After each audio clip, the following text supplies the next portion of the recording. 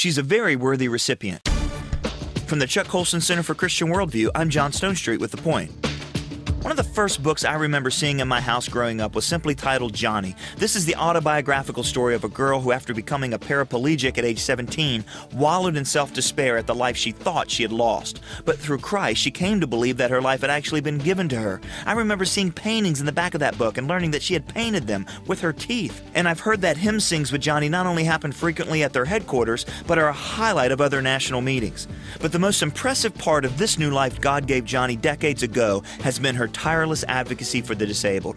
Her Christian Institute on Disability is protecting the most vulnerable at a time when eugenics has returned. Joni recently received the Colson Center's Wilberforce Award from Chuck Colson, and our interview with her aired over the weekend on Breakpoint this week. You can hear this interview at breakpoint.org. That's breakpoint.org. I'm John Stonestreet.